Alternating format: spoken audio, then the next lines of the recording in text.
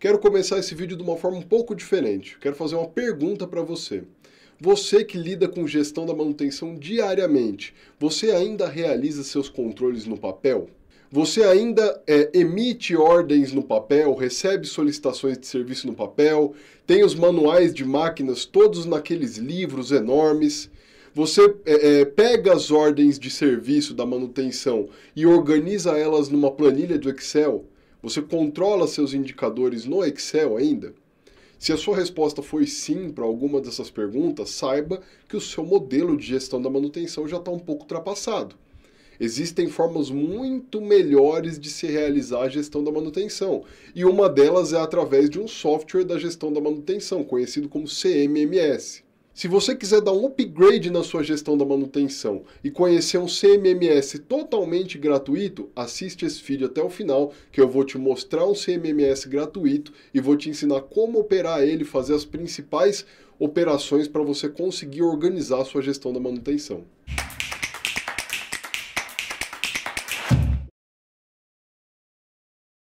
Então, como eu falei para você, eu vou apresentar para você hoje uma solução de gestão da manutenção computadorizada, onde os dados são todos organizados de maneira automática e com poucos cliques você consegue abrir uma ordem, cadastrar um ativo, é, é, organizar os indicadores, tudo isso é, é dentro de um notebook, dentro de um smartphone, de uma maneira muito simples.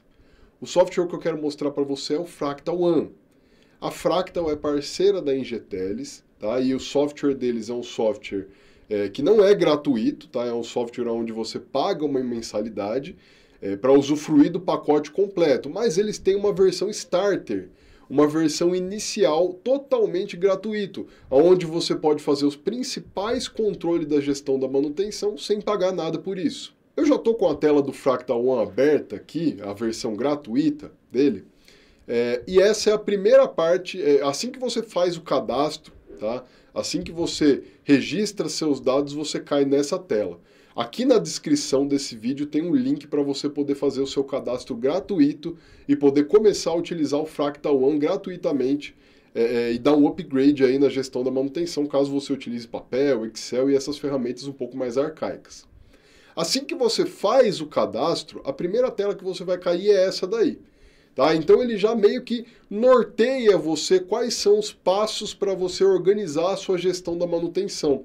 Então, ó, pode ver aí na tela que ele fala, primeiramente, criar ativos. Tá? Deixa eu tirar minha câmera dessa posição que ela está atrapalhando.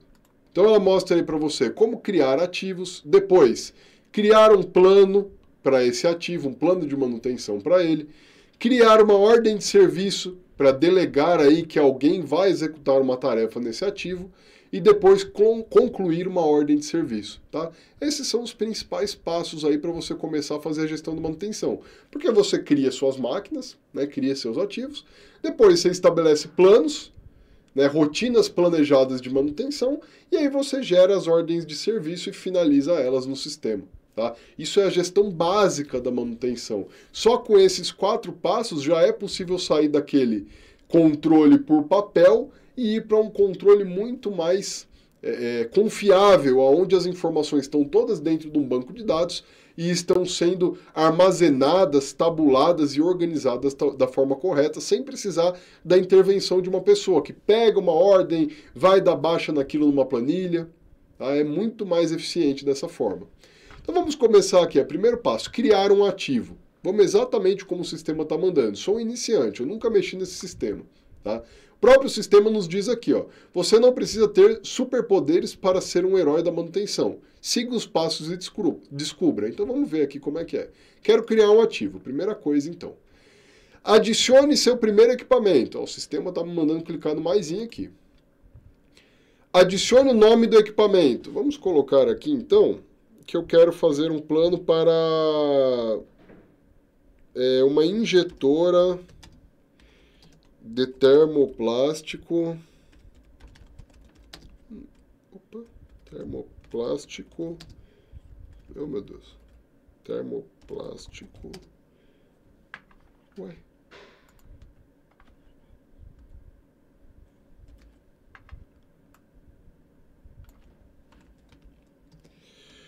Modelo 1. Só por exemplo aqui. Beleza, próximo. Um código. Tá? Vamos supor que essa seja ING 001. Beleza. Clique em salvar para salvar seu equipamento. Show. Parabéns, você criou o seu primeiro equipamento na Fractal. Legal. Aí, ó, já está criado o equipamento. É claro que aqui tem muito mais informações para você colocar do equipamento. Né? É claro que aqui nessa, nesse primeiro passo é só para você criar, ele está mostrando como o sistema vai operar. Depois você pode voltar nesse ativo aqui e você pode colocar em qual local da planta ele está, pode colocar a criticidade dele, pode pôr dados patrimoniais, dados financeiros, etc. Tá? Pode é, adicionar manuais, pode pôr uma foto. Tá vendo que tem um espaço para foto aqui? Então você pode é, é, completar esse cadastro posteriormente. Agora vamos para a segunda etapa aqui, né? Crie o seu plano. Beleza, vamos criar um plano então para essa injetora. Tá? Clique em adicionar para adicionar seu primeiro plano. Beleza, vamos lá. Descrição, vamos colocar aqui, ó, plano de limpeza para injetoras. Tá? Por que, que eu criei dessa forma? Porque depois, se eu criar outras injetoras, eu posso atribuir o mesmo plano para as mesmas para as outras injetoras. Né? Eu já criei a injetora 1, mas se eu tiver a injetora 2, 3, 4, 5, eu posso atribuir o mesmo plano para elas depois. Próximo, clique em salvar. Ok. Clique para ir para as tarefas. Vamos lá, vamos clicar para ir para as tarefas então. Os planos são compostos por um conjunto de tarefas, onde cada tarefa pode contemplar diferentes atividades e frequências de execução independentes. Exemplo, tarefa 1, inspeção mecânica, frequência mensal. Tarefa 2, troca de óleo, frequência trimestral. Ok. Vamos colocar uma tarefa aqui, então. Tá? Vou colocar aqui, ó, limpeza dos... Limpeza dos bicos. Certo? Tipo de tarefa adicione um novo tipo de tarefa ao seu catálogo. Ó, o sistema está me guiando, tá? Mesmo que eu... Com, exemplo, preventivo, exatamente. Uma limpeza preventiva. Então vamos lá, preventivo. Salvo. Legal, então vou selecionar que é preventivo. Clique para selecionar o tipo de ativador. Existem vários tipos de ativadores, certo? Fazer a cada 30 dias. Legal? Sempre. Programação fixa. Legal. A cada 30 dias eu vou realizar essa tarefa então. Tá? Clique em salvar. Show. Subtarefas são os conjuntos de opções que permitem acionar perguntas com base em respostas pertinentes. Vamos lá. Clique em adicionar uma subtarefa. Vamos entender aqui. Ó. Exemplo, detalhe do trabalho realizado. Vamos colocar aqui, remover, é, remover termoplástico endurecido que obstrui os bicos. Legal. Salvo. Ao atualizar seu plano de assinatura, você pode adicionar recursos para a tarefa. Legal. Tá? E você também pode adicionar anexos como arquivos, links. Então, ali nos recursos, eu posso colocar quais são as peças que eu vou precisar para realizar a tarefa, aqui, é, quais são as ferramentas, tá? quais são os insumos. E aqui nos anexos, eu posso colocar, por exemplo, um procedimento. Tá? Eu tenho lá meu procedimento operacional para realizar esse tipo de limpeza, uma instrução de trabalho, e eu vou e anexo ela aqui dentro do meu sistema. Tá muito intuitivo. Vamos voltar aqui, conforme o sistema está mandando. Pronto. Ativos associados. A quem eu vou associar esse plano? Tá? Vamos clicar aqui no mais. E eu tenho aqui a minha injetora de termoplásticos modelo 1. Beleza, pronto, associei a ela. Se eu tivesse outros, eu poderia associar esse mesmo plano a diversas outras é, injetoras, por exemplo. Tá? E cabe dizer que eu só acrescentei uma tarefa aqui. Quando eu for mexer diariamente nesse sistema, eu vou colocar várias tarefas. Eu coloquei limpeza dos bicos, eu vou colocar inspeção é, da pressão do, do óleo, Vou colocar limpeza do motor, limpeza dos terminais elétricos, eu vou colocar esvaziamento do, do secador, tá? Eu vou colocar lá uma série de tarefas de limpeza que estejam associadas a esse plano de limpezas de injetora, tá? Seguindo, aqui você pode selecionar a data em que a última manutenção foi realizada. Beleza.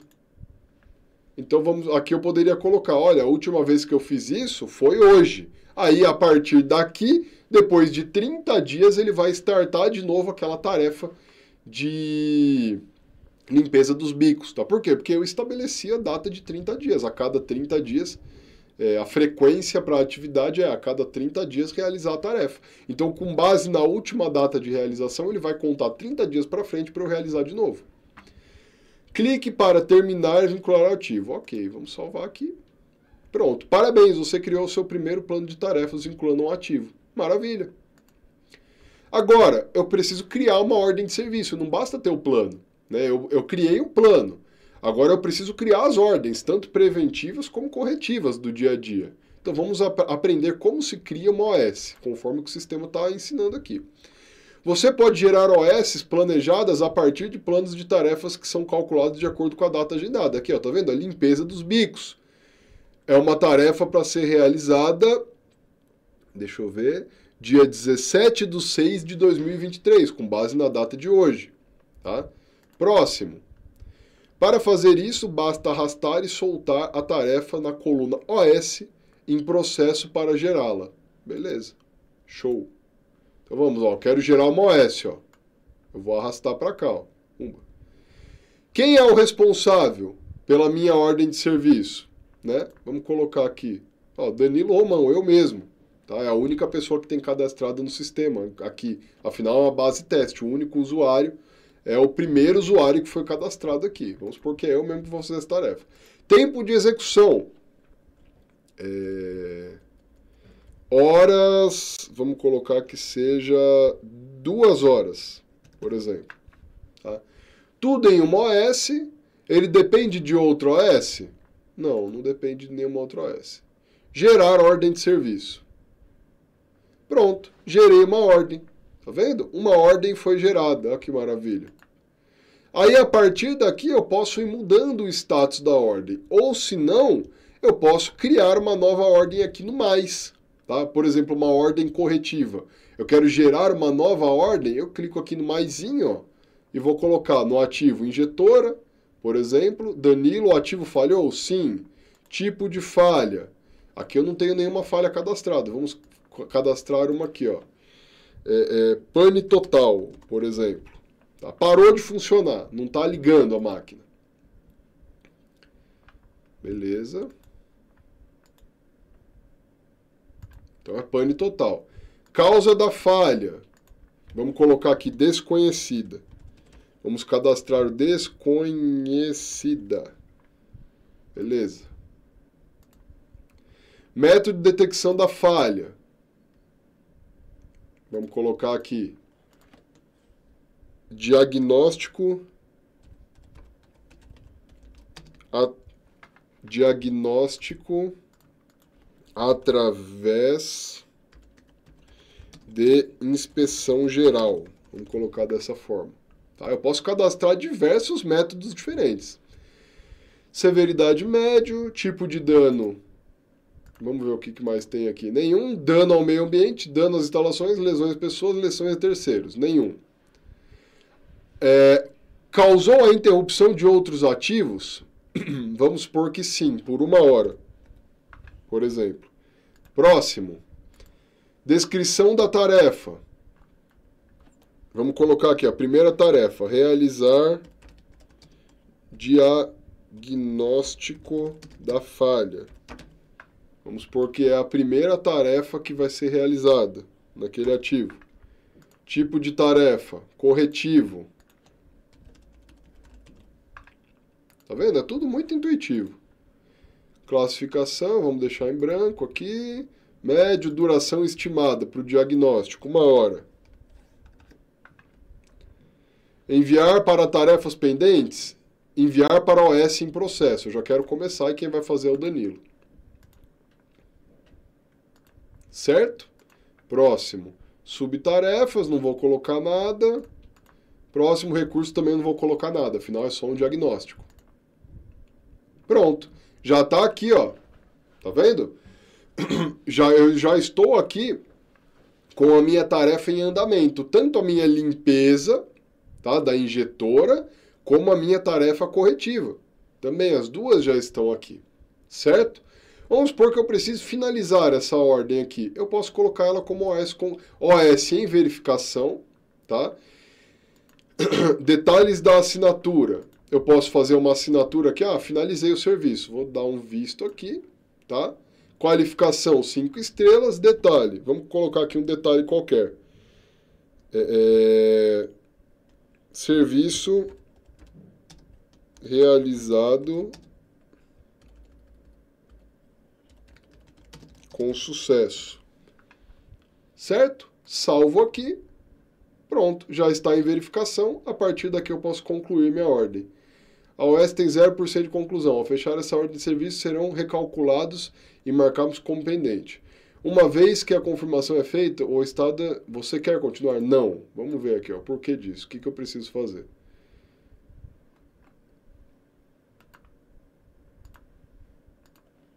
Colocar aqui eu como responsável. Enviar para, enviar para a OS concluída. Vamos colocar aqui, enviar para a OS concluída.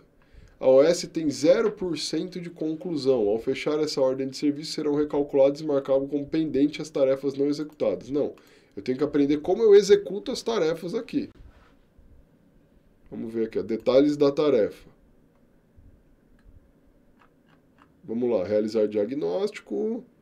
Pane total, certo, começar. Ah, aqui, ó, quando eu clico em começar, é para eu começar a fazer o serviço, tá? Vamos supor que eu comecei a fazer o serviço, eu clico aqui no botão começar. Olha como é intuitivo. Eu não conhecia esse mecanismo, mas acabei de aprender aqui de forma intuitiva. Ó, eu, eu ia demorar uma hora, mas o contador está sendo feito pelo próprio sistema aqui, ó, 20 segundos de serviço.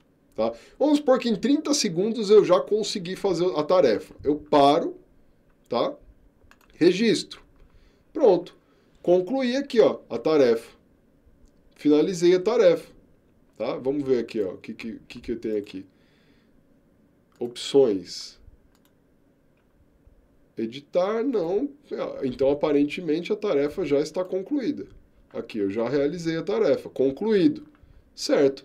Agora eu posso finalizar essa ordem, ó, enviar OS para concluído. A OS tem 100% de conclusão. Beleza, uma vez confirmar o estado é reversível. Você quer continuar? Sim. Finalizando a ordem de serviço, pronto. Acabou a tarefa.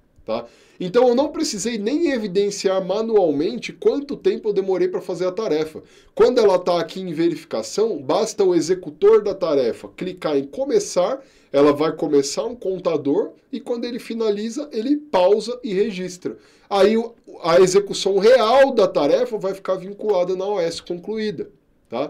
E a partir daqui, os indicadores já começam a ser tomados. Tá? Se eu for aqui no dashboard inicial, eu já tenho aqui, ó, OS concluídas, tá vendo? 100%. OS criadas, uma. OS concluídas, uma. Tarefas planejadas, por enquanto zero, não executei nenhuma, ela está lá pendente, aquela limpeza. Tá? Tarefas não planejadas, uma. Ó, severidade, falhas que causaram danos, por enquanto nenhuma. Atu atualmente ativos parados, se aquela ordem não tivesse concluída ainda, aqui estaria um aquele ativo estaria parado. Tá? E aqui eu consigo tirar todas as informações pertinentes à minha execução das ordens. Beleza? O Fractal One é um sistema extremamente intuitivo, muito fácil de mexer e essa versão gratuita, apesar de não ter todos os recursos como medidor, orímetro, é, é, é starts automáticos de tarefas com sensores, um painel de BI completo, ele já tem todas as ferramentas para uma gestão da manutenção básica para substituir aí o papel, o Excel ou algum método mais arcaico. Tá? O link para você conhecer o, o Fractal One gratuito está aqui na descrição. Basta você clicar no link, fazer seu cadastro e já pode começar a mexer no sistema. Tá? Ah, não, esse sistema não me atende, eu queria um sistema mais completo, mais robusto. Aqui na descrição também está o link para você fazer uma demonstração com o Fractal One completo. Tá? O sistema que vai, de fato, atender a todas as suas necessidades de gestão da manutenção. Se você gostou desse vídeo, deixa o like aqui pra gente, se inscreve no, no canal, deixa nos comentários falando o que, que você achou, se você já conhecia esse sistema ou não, se você utiliza a gestão da, da manutenção em papel, se você faz no Excel ou se você já utiliza um sistema qualquer. Compartilhe esse vídeo com os amigos, tá? E te, esteja sempre ligado aqui no nosso canal, que a gente está sempre postando conteúdo novo. Muito obrigado por acompanhar esse vídeo até aqui e eu espero você no próximo vídeo. Um grande abraço para você e até a próxima. Valeu!